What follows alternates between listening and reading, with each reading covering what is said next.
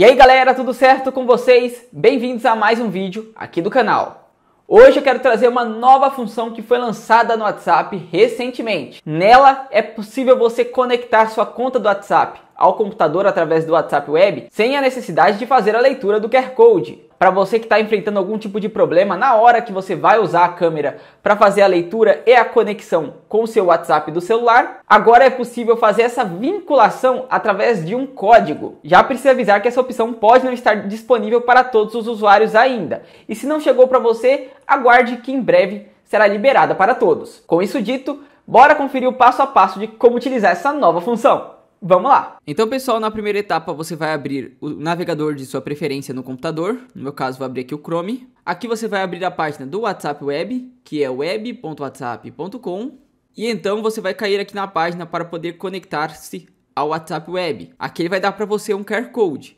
Fazendo o escaneamento desse QR Code, você consegue conectar a sua conta do WhatsApp no computador. Mas o que eu vou te mostrar aqui é uma novidade, ao qual você consegue com um código fazer a conexão também. Para fazer isso, você vem aqui em Link with Phone Number ou Link com número de telefone.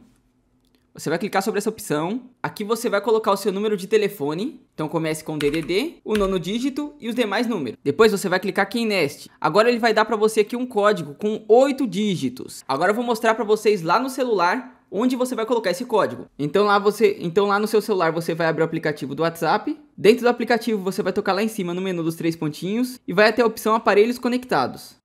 Aqui você vai clicar para conectar um aparelho. Então ele vai abrir a câmera para você poder escanear um código QR.